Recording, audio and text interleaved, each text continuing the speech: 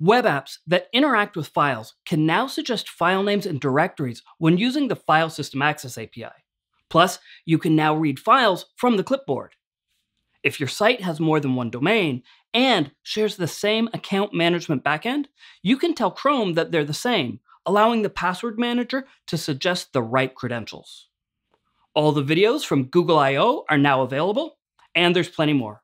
I'm Pete LePage. Let's dive in and see what's new for developers in Chrome 91.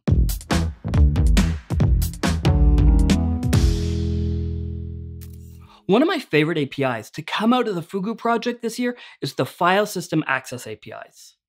Once the user has granted permission, apps can interact with files on the user's local device in the same way that other installed apps do, allowing you to create a more natural user experience. Starting in Chrome 91, you can now suggest the name and location of a file or directory to interact with.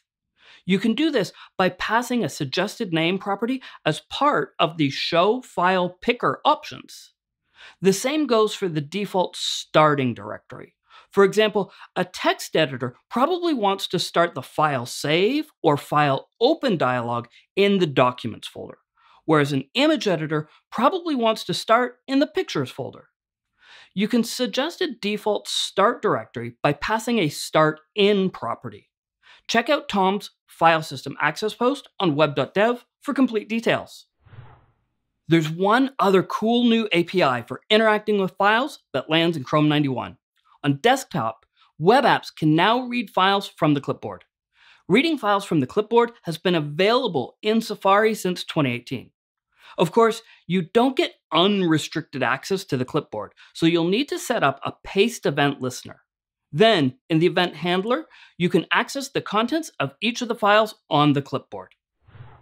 If your site has multiple domains and shares the same account management backend, you can now associate your sites with one another, allowing users to save their credentials once and have the Chrome Password Manager suggest them to any of your designated affiliated sites. This is ideal when your site is served from different top level domains like google.com and google.ca. Or maybe you've got multiple domain names. To associate your websites, you'll need to create an assetlinks.json file that defines the relationship between the different domains. In this example, I'm telling the browser that both the .com and the .co.uk domains are related and can share the same credentials. Then host the assetlinks.json file in the well-known folder for each domain. This functionality will start to roll out gradually in Chrome 91 and may not be available on day one. So check out Enable Chrome to share login credentials across affiliated sites on developers.chrome.com/blog for the latest details. All the videos from I.O. are now online. There's some great content there, so check those out. Web Transport, previously called QuicTransport, has undergone a number of changes and is starting a new origin trial. WebAssembly SIMD has finished its origin trial and is available to all users. The refreshed form elements have finally landed on Android, improving the user experience. And the link element's media attribute will be honored for link rel equals icon, meaning that you can define different icons based on media queries.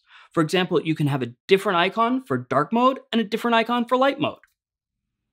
All the details, including links, docs, and specs, are in the updates post linked in the description hit that subscribe button so that you don't miss any of the latest Chrome DevTools videos, HTTP 203, or any of our other great content.